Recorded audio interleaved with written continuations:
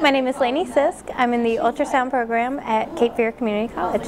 I wanted a two-year degree that had really good pay, was something in the medical field, and would be interesting and hold my, hold my interest and make a difference.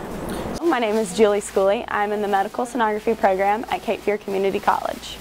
I chose this program because you get to help people, it's really hands-on. The first day of class you get to actually do what you're going to be doing for your job. We start scanning on the first day and then you go to clinicals halfway through your first semester so as you're learning everything you're also applying it.